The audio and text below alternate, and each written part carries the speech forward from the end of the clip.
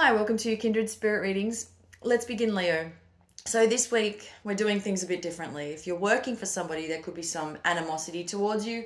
It's nothing you should take personally, although I'm, I'm seeing it may affect you somewhat, and it is definitely. Um, from what I'm getting uh, about this, that you're under pressure, you're feeling some kind of pressure from being surrounded by people that truly don't understand how to get along, there needs to be more problem solving. I'm getting something about this where there are unresolved issues. This one particular individual, they have light to medium hair, and it may be a bob cut hairstyle where they are showing up who as somebody who is not being reasonable, they're giving you a hard time, which doesn't make it easy on you. Um, I'm also seeing you may do something on impulse, and the final kicker is that you may walk out and leave your job. You may have had enough.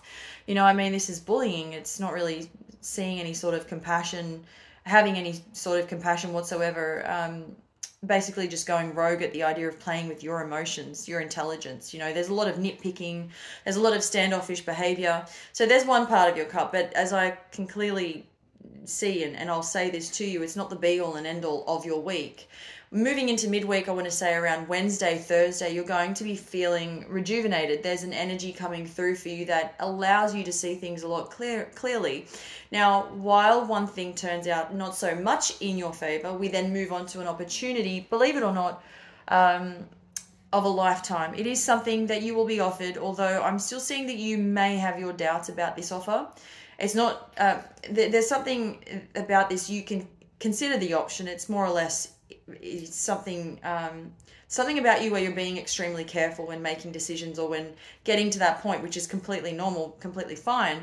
Um, you know, but there are many things that require your dedication and your time to really consider the option or the options that, that are being handed over to you or offered to you. So I just keep seeing you being cautious. Again, never a bad thing, but it is showing up as that. So that keeps sort of interrupting that path.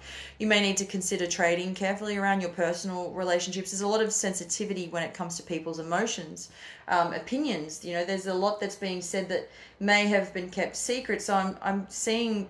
Uh, secrecy show up quite a lot. The things that weren't mentioned previously, everything is now being let out. The, you know, the cat is out of the bag type of situation. Um, it is now being released. Whatever is on somebody's mind, your significant other or somebody else that you're close to right about now, um, you know, will be the time where everything is going to be revealed. Thank you, Leo.